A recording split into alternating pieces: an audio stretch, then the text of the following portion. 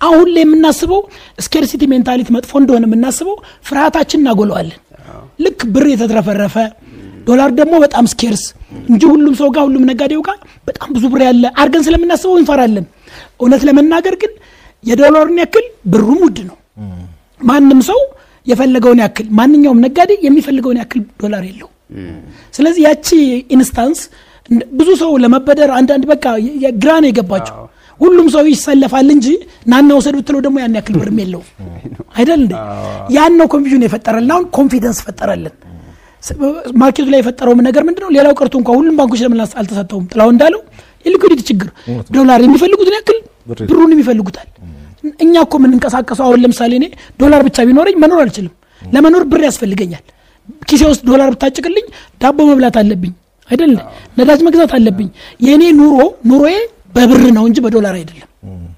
ዶላር የሚያስፈልገኝ ለውጭ ሀገር ሊሄድ ስል import ላደርግ ስል የተወሰነ ነገር ነው እንጂ ኑሮዬ የኔ personal ኑሮ በተመለከተ አሁን ካሁን በኋላ ዶላር ብር አልሰጥም ዶላር እንምሰጥ ምናምን ብለህ ዶላሩን መቀየራችንን ብትለኝ በረሃብ እሞታለሁ አይደል እንዴ? ስለዚህ ብራችንም ይፈልጋል። ብራችንም ውድ ነው የዶላሩን ያክል። ይሄ confidence ተፈጥሯል። አሁን ቀላል ነገር አለም። ጥላውን ቅድም off record ስናወራ የነበረው okay፣ ይሄ ጨረታ መጣ፣ አማካይ ገበያ ለማግኘት እየተሞከረ ነው። ባንክ ቤቶች እና ራሱ ብሔራዊ ባንክ ዋጋውን ከማረጋጋት አንጻር በፊት ይወስዳቸው የነበሩ እርምጃዎች ነበሩ። አሁንም እዛው ላይ ነው ያለው፣ ግን ነገሩ ተቀይሯል። ማን የምን ኃላፊነት ጋር ላመጣለህ ስለሆነ ነው። ባንክ ቤቶችም ብሔራዊ ባንክም ነገሩን ወይ ደግሞ አጠቃላይ inflation የዋጋ ውድነት የሚባለው ጉዳይ ለማረጋጋት LC መክፈት አካባቢ ያሉ የቀደሙ ሕጎች ባሉበት ነው ያሉት። ነገሩ ግን ተቀይሯል። እዚህ ጋር ያለውን ማስተካከያ የገበያ የውድነት ማረጋጋት አንዱ አስተዋጽኦ ያደርጋልና ነገሩ ምንድን ነው? እንዴት ነበር operate የሚደረገው? ምን ላይ ቆመናል? እሱን ትንሽ ብታወራልኝ ደስ ይለኛል። እንግዲህ ብሔራዊ ባንክ ባንኮች ከዚህ ቀደምም የውስጥ pricing ኣቸው እያንዳንዱ የሚሰጡት አገልግሎት ላይ የሚያስከፍሉት ኮሚሽን፣ የአገልግሎት ዋጋ የመሳሰለው ላይ ጣልቃ አይገባም። ቀን በቀን ግን ባንኮቹ ያዋጣናል በሚሉት set ያደርጉ ነበር፣ ያስቀምጡ ነበር።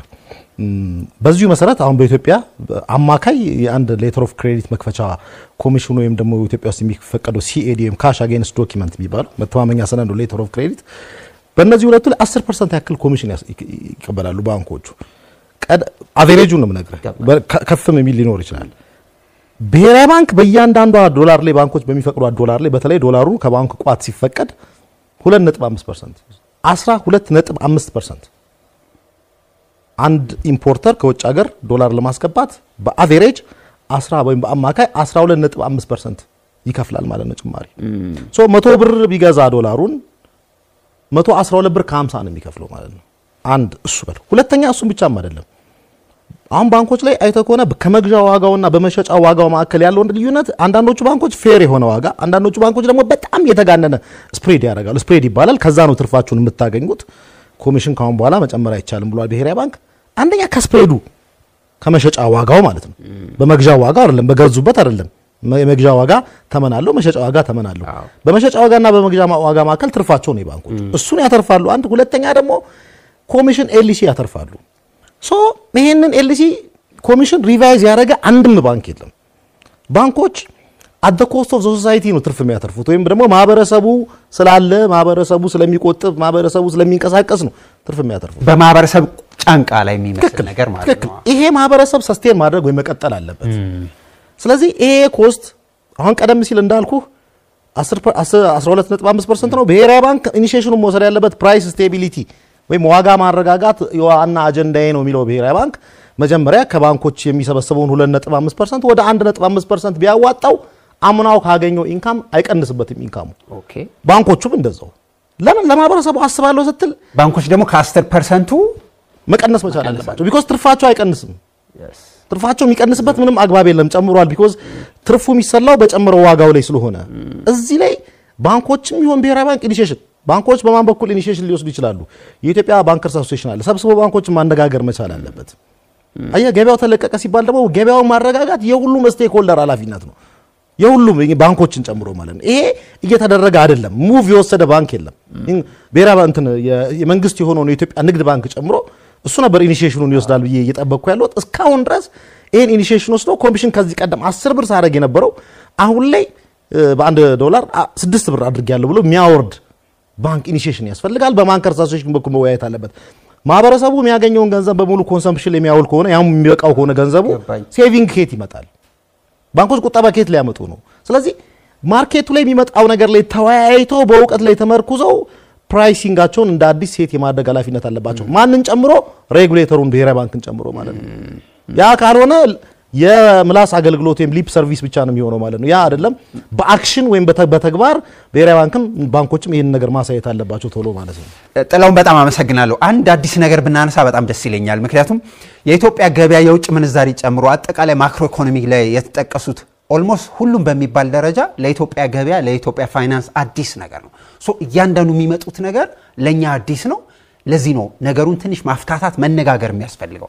በዚህ ሳምንት ከሰማነው አዲሱ ነገር ከብሔራዊ ባንክ የግል የውጭ ምንዛሪ ቢሮዎችን ለመክፈት የስራ ፈቃድ ማመልከቻዎችን መቀበል ጀምሬያለሁ አለ።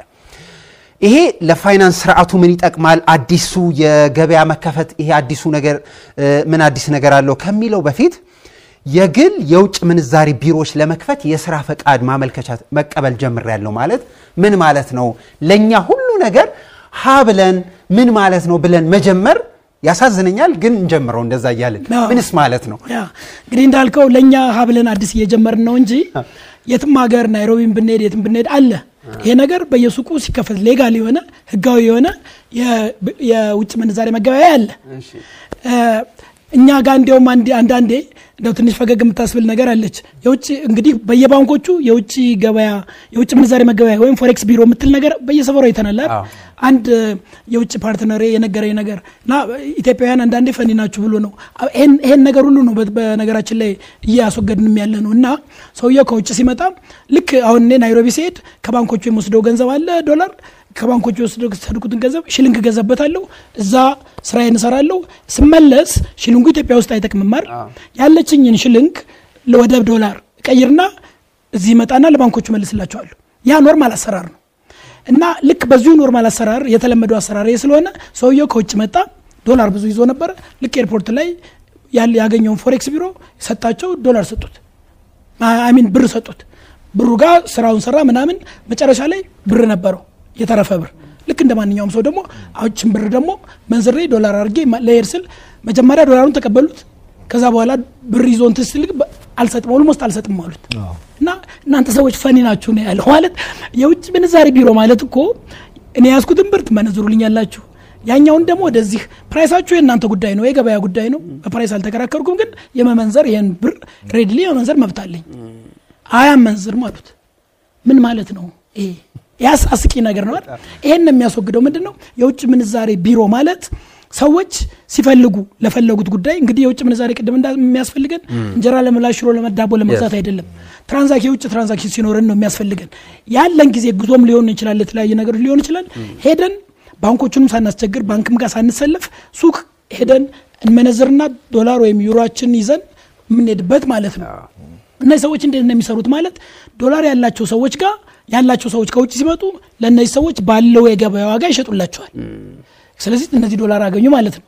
ከዛ ደግሞ ዶላር የምንፈልግ ሰዎች ደግሞ ውጭ ሀገር ለመሄድ margin አለች መሀል ላይ margin አለች እነሱ ደግሞ ይሸጡልናል። ይሄ ነገር ሲደረግ አልነበረም ወይ? ኢትዮጵያ ውስጥ legally አልነበረም። illegally ነበር የምናውቀው ነገር ነው። የአደባባይ ሚስጥር ነው። black market parallel market የምንለው ይሄ ነገር ነው። እንዴት ስናደርገው ነበር? በጣም ተጨንቀን አይደል?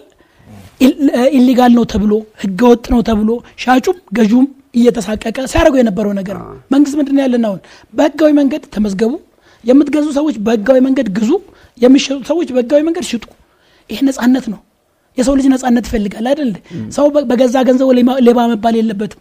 በቃ ካሁን በኋላ ሌባ አይደላችሁም ተመዝገቡና የምትገዙን ግዙ የምሸጡን ሽጡ ተብለናል። ይሄ ትልቅ ነጻነት ነው። ከነጻነቱ ውጭ ደግሞ የስራ አጋጣሚ ነው። እነዛ ሰዎች እንደው እንደ ማንኛውም ህጋዊ ስራ ሰርተው አትርፈው መኖር ሲገባቸው ተደብቀው እንደዚህ ብለው ነበራል ለእነሱ ደግሞ ትልቅ ነጻነት ነው። ሁለተኛው ትልቁ ነገር ደግሞ በአለም ላይ ይሄ የውጭ ምንዛሬ ቢሮ የሚባለው margin ኡን ካየን research ሌሎችም ሰዎች እኔ partner ኦች ውጭ ያሉትም ስጠይቃቸው ነበር። generally ምን ያክል ትርፍ አለው? በአንድ ዶላር ላይ ምን ያክል ያተርፋሉ? እነዚህ ሰዎች በጣም competitive ስለሆነ በመሀል ላይ ያለው margin በጣም ትንሽ ነው። ይሄ ማንን ይጠቅማል ብንል? ገዢዎችን ይጠቅማል ሻጮቹንም ይጠቅማል ለምሳሌ እኔ አንድ ዶላር በሰማንያ ብር ነው ምገዛው እያል ስል ከኔ ጎን ያለው አንተ ሹቅ ልክ እንደ ማንኛውም ሱቅ ነው። አንተ ደግሞ የሚሸጠውን ሰውዬ አይ ሰማንያ ሳይሆን ሰማንያ አምስት መቶ እኔ ሰማንያ እያልኩ አንተ መቶ የምትል ከሆነ ሰውዬው ወደ አንተ ነው የሚመጣው። ገዢው ደግሞ እንደዚሁ ገዢው ደግሞ አነስ ያለ ነገር ይፈልጋል። ስለዚህ ይሄኛው ሲገፋው ያኛው ወደዚህ ሲያመጣው መሀል ያለችው ማርጅን በጣም ትንሽ ነች። ያ ማንን ይጠቅማል? ተጠቃሚውን ይጠቅማል። margin ኗ ትንሽ ስለሆነች። ሁለተኛ ደግሞ margin ኑ በጣም ትንሽ ስለሆነ እንዲሁ አሁን ብሔራዊ ባንክ ያወጣው minimum capital አለ። ካፒታሉን ዝቅ ማድረጉ ጥሩ ነው፣ ብዙ ሰዎች እንዲገቡ ያደርጋቸዋል። ግን የምመክረው እንደው ሰዎች ተደራጅተው ገንዘባቸውን institutional capacity ዎችን አደራጅተው በደህና ገንዘብ ቢገቡ ሁሌ እንግዲህ ቢዝነስ ውስጥ ሁለት አይነት ቢዝነስ አለ። አንደኛው የ margin business ይባላል። አንዱ እቃ ላይ የምትቆልልበት ማለት ነው። ሁለተኛው የ turnover business ይባላል። ብዙ እቃን የምትሸጠው እያንዳንዱ እቃ የምታገኘው በጣም ትንሽ ነው። መጨረሻ ላይ ግን ብዙ ስለምትሸጥ ብዙ ትርፍ ታገኛለህ። ለእያንዳንዱ እቃ የምታተርፋት ትንሽ ነው። ብዙ ጊዜ ህዝብ የሚጠቀምበት FMCG የምንለው አለ። ምን ማለት ነው? fast moving consumer goods የሚባሉ consumer goods አብዛኛው ህዝብ የሚገዛው ማለት ነው። የእነዚህ business strategy ምን አይነት ነው ብትለኝ ይሄ margin ኗ በጣም ትንሽ እነ ሳሙና soft ምናምን የምንላቸው ነገሮች በየቀኑ የምንገዛቸው ነገሮች globally ይሄ ቢዝነስ ምን አይነት ነው ብትለኝ በጣም ትንሽ margin ያለው እዚህ ቢዝነስ ላይ survive ለማድረግ እንደ ነጋዴ ብዙ መሸጥ መቻል አለብህ። ምክንያቱም እኔ ትንሽ ካፒታል ይዤ ብመጣ አንተ ትልቅ ካፒታል ይዘህ ብትመጣ የኔዋ ትንሽ ካፒታል ምክንያቱም market ላይ እኩል ነን። አሁን ብዙ ሰው የሚያደናግረው አንድ ነገር አለ። price የሚወሰነው እንዴት ነው ሲባል price cost ኡ ሲደመር margin አንድ አንደኛው approach ነው። ሁለተኛው ደግሞ market የሚባል አለ። የ market ኡን price መውሰድ የሚባል ነገር አለ። ሁሌ price cost plus margin አይደለም። ለምሳሌ እኔ አንድ ነገር አስር ብር እገዛለሁ፣ በዛ ላይ ሁለት ብር ጨምረዋለሁ እጨምርበታለሁ፣ አስራ ሁለት ብር ሆነ ማለት ነው።